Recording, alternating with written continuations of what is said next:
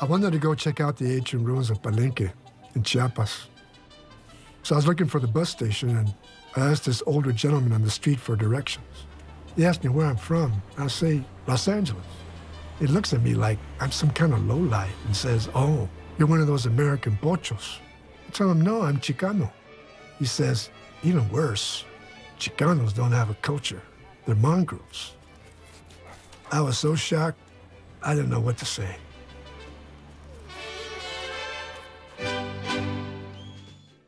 Couple of days after my encounter with that old guy in Guadalajara, I made it over to Palenque.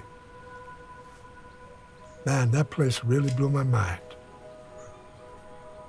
I felt this intense connection to my ancestors, the journey of my family, all leading up to my life at that moment. I decided to climb the Temple of the Inscriptions. And as I'm climbing, all these questions start coming up in my head like, what does it mean to be a Chicano artist?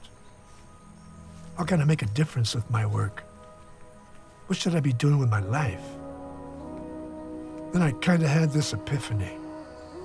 A Chicano artist would be someone who uses creativity to contribute to their culture and help shape it. Kind of like a sculptor. Huh. That's when I knew. I knew what I was going to do. And I knew what I was a Chicano culture sculptor.